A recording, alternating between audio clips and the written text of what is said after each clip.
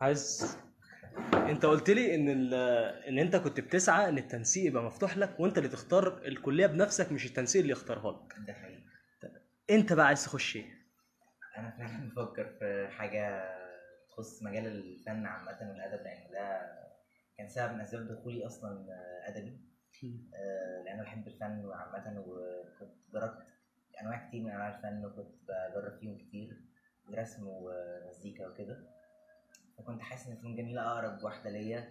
بس بعدين حطيت إعلام وبعدين دلوقتي أكيد سياسة واقتصاد دخلت جوه الحسبة.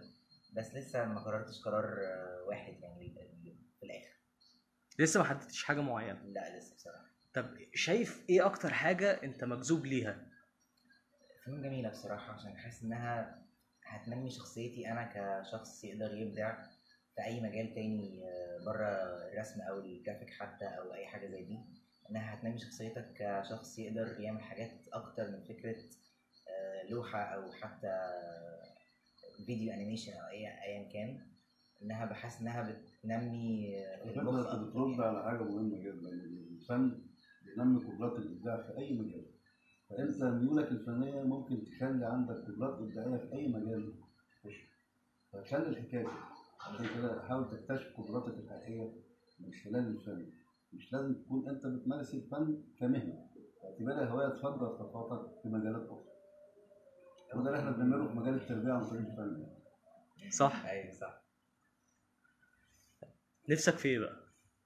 نفسي آه، أبقى عادي ناجح كده في الحاجة اللي أنا فيها أبقى في الكويس في المكان اللي أنا فيه أحاول على قد ما أقدر أكون بعمل عليا في الحتة اللي أنا فيها عشان أقدر آه، أبقى حاسس جوه نفسي إن أنا مش مقصر حاسس إن أنا بعمل اللي عليا عشان بحس إن ده بيفيدني بحس إن ده أكتر حاجة بحس إن أنا محتاج أحققها يعني فكرة إن أنا أكون في المكان اللي أنا فيه قادر أحقق حاجة وقادر أكون ناجح بشكل معين يعني. هل كنت عامل time ليك معين في, في اليوم تذاكر فيه ولا لأ أنا ما كنتش بحب أقيس لنفسي بذاكر قد إيه بحس إن ده شيء تقيل شوية فكنت بصحى من النوم عادي وبخلص كل اللي ورايا. آه على آخر اليوم على الساعة 8 9 كده بكون خلصت كل اللي ورايا وجاهز إن أنا خلاص هاخد شوية break أو هنام أو أيا كان. بس مش بنام غير لما أكون خلصت كل اللي ورايا. بس. بعد ما عديت مرحلة الثانوية خلاص أصدقائك بقى اللي جايين بعديك يعني تنصحهم بإيه؟ بخبرتك بقى اللي أنت مريت بيها. أنصحهم إن السنة طويلة. فمحتاجين يوزعوا طاقتهم خلال السنة عشان ده شيء هيحتاجوه بعدين خصوصا في الأواخر لأن بتحتاج إن أنت في, أواخر السنة بتحتاج إن أنت طاقة أكبر شوية.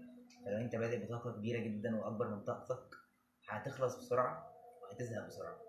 وهي السنة محتاجة استمرارية. فدي أصعب حاجة في السنة إن هي الاستمرارية على نفس المستوى. فكنت أنا حاسس إن أنا فاهم ده شوية في أول السنة فحاولت على قد ما أقدر إن أنا أوزع طاقتي خلال السنة. أكيد في أوقات بنبقى مكسلين أوقات تانية بنبقى قادرين نكمل بس دي بتوزن دي يعني طالما أنت مقتنع بده دي بتوزن دي